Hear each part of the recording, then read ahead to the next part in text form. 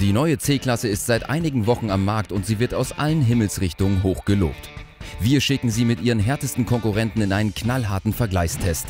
Ihr Stellen werden sich BMW 3er und na, kommt Ihnen das bekannt vor? Muss es ja auch hier extra mitgebracht. Eine Ausgabe vom 30.04. Da hieß es noch, der wichtigste Test des Jahres. Darin konnte die C-Klasse beweisen, dass sie derzeit das beste Auto der Mittelklasse ist. Trotzdem hat sie nicht den ersten Platz gemacht. Den holte der BMW 3er einfach und allein aufgrund eines Preisvorteils. Und dann brach es hier wie der Wolkenbruch über uns hinein.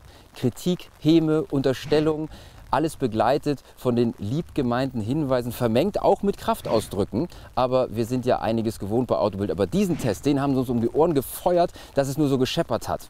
Aber wir hören ja hin, nehmen an und zeigen auch Demut. Und deswegen nur für Sie, die Leser, die Zuschauer, hier die Neuauflage zwischen dem Duell Stuttgart und München. Gut, ein drittes Fahrzeug steht ja auch noch, das war im alten Testen A4, jetzt ist es eben Volvo. Aber wenn wir ganz ehrlich sein, es geht doch eigentlich um C-Klasse und Dreier.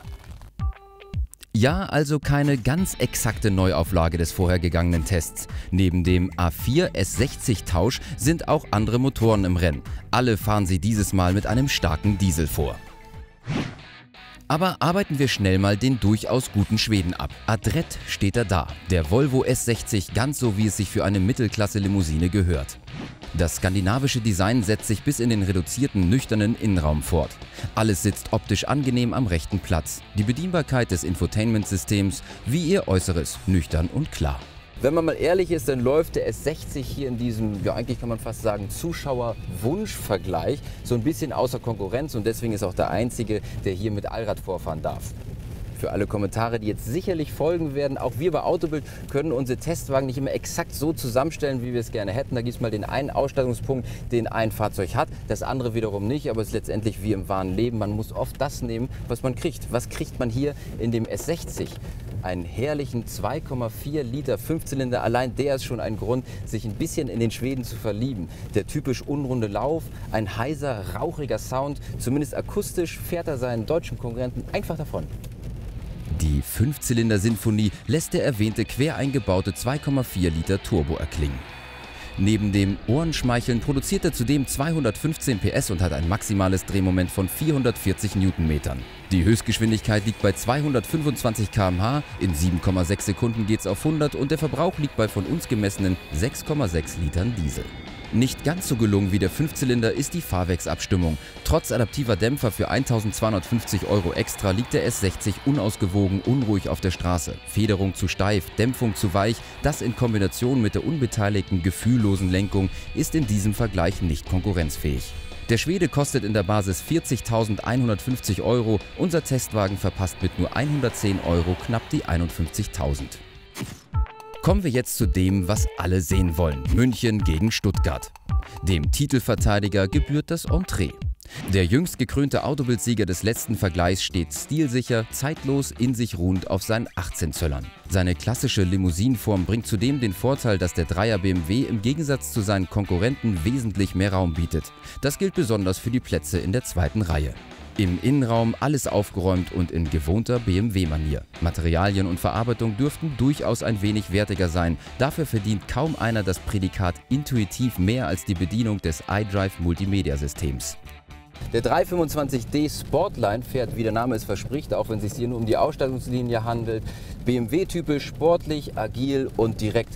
Genau wie man es von solch einem Bayern erwartet, bekommt man dynamischen Fahrspaß. Und der 2 Liter Biturbo, der ist kernig, der ist rau, hat Kraft und Biss und vor allen Dingen weiß die unfassbar gute Achtgang-Automatik mit dem Vierzylinder zu spielen, dass einem das Herz aufgeht. Der trotzdem ein wenig rustikal wirkende Vierzylinder leistet 218 PS und hat ein maximales Drehmoment von 450 Newtonmetern. Die Höchstgeschwindigkeit liegt bei 245 km/h. In 6,6 Sekunden geht es auf 100 und der Verbrauch liegt bei von uns gemessenen 5,4 Litern Diesel. Mit dem 1100 Euro teuren adaptiven Fahrwerk und der präzisen, fast giftigen Lenkung fährt sich der Münchner betont energisch. Aber seine Federung kommt bei weitem nicht an die des gleich folgenden Konkurrenten heran. Dafür ist er aber auch nicht so teuer.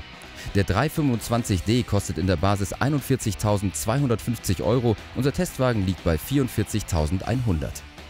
Und jetzt zum derzeitigen Klassenprimus, für den es beim letzten Mal nicht ganz gereicht hat. Fast hat man das Gefühl, hier steht nicht eine C, sondern eine kleine S-Klasse. Zwar ist der Benz mit rund 4,69 Meter länger als der Münchner Konkurrent, trotzdem ist im Fond deutlich weniger Platz. Dafür überflügelt der Stuttgarter seinen Lieblingskonkurrenten in Materialauswahl und Verarbeitung. Innen ist die C-Klasse edel und erfüllt gehobene Standards. Die Bedienbarkeit des Multimedia-Systems ist mit dem schwebenden Touchpad spektakulär, könnte aber ein Tick intuitiver sein. Angetrieben wird unsere C-Klasse von einem Vierzylinder Biturbo. Der Diesel leistet 204 PS und hat ein maximales Drehmoment von 500 Newtonmetern.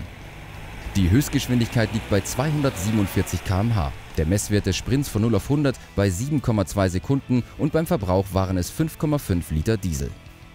Noch gar nicht so lange her, 2011 betitelten wir, eigentlich beschimpften wir schon fast den 2,1 Liter Dieselmotor der C-Klasse als einen richtigen Bauernmotor mit dem Klang einer Körnermühle. Aber genauso wie wir Ihre Leserkritik immer ernst nehmen, so haben sich die Stuttgarter auch unsere Kritik zu Herzen genommen. Vorbei der bäuerliche Charme, die Schwaben haben ihrem Diesel richtig tolle Manieren beigebracht. Schwach auf der Brust war er auch nie, aber jetzt ist er auch noch extrem leise. Fast wie ein kleines Arbeitsbienchen summt er ganz ruhig vor sich hin und der Geräuschkomfort, der kommt vorne nämlich über eine nahezu perfekte Dämmung. Hier in unserem Testwagen geht es sogar so weit, dass wir Doppelverglasung haben. Da hörst du gar nichts. Auch seine 7-Stufen-Automatik wirkt deutlich verbessert. Nur das leichte Ruckeln beim Runterschalten, das ist geblieben. Weiterhin ein Traum die Luftfederung. Sie federt souverän und bleibt stets gelassen. Der Maßstab. Komfortabler kann man in dieser Klasse nicht reisen.